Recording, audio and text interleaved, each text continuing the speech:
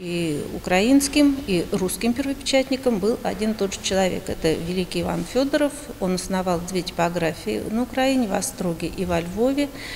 И продолжали они работу свою в течение столетий.